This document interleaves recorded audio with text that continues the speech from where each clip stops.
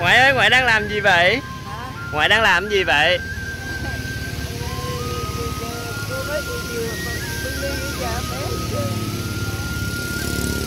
Là ngoại đang muốn hái dừa hả? Năm nay ngoại bao nhiêu tuổi rồi? Dạ. Dạ. Năm nay ngoại bao nhiêu tuổi rồi? Ngoại bao nhiêu tuổi rồi? Dạ bao nhiêu hả? Là 90 hả?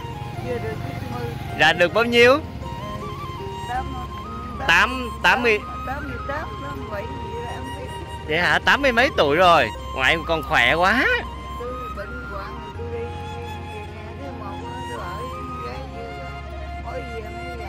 Dạ. Con thấy ngoại còn khỏe lắm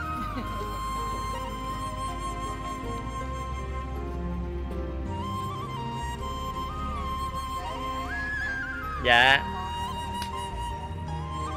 ngoại là ngoại à, đang à, đang buồn rầu là bởi vì ngoại à, đi khỏi nhà thì dừa của ngoại đã bị hái hết trơn rồi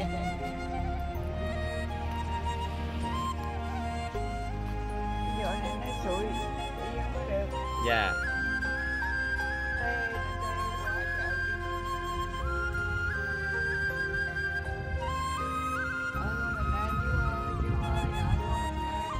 Dạ. Rồi ai nấu cơm cho ngoại ăn?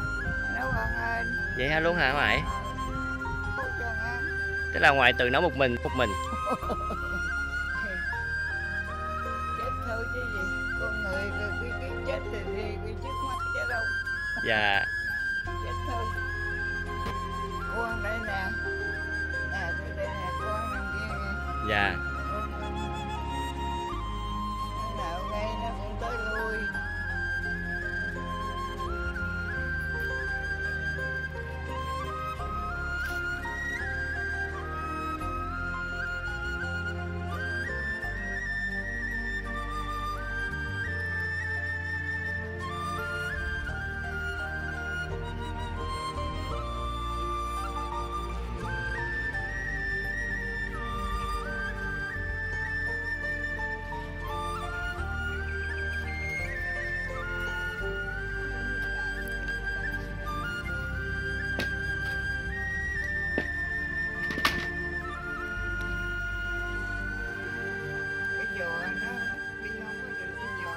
Giờ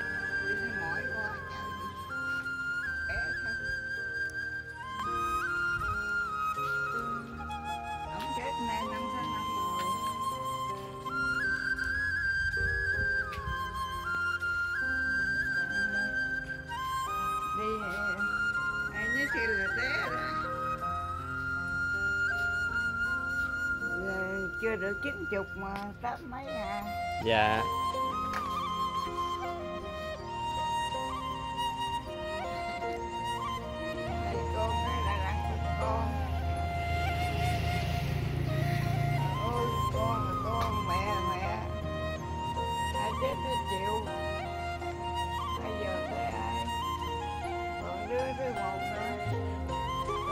algorithm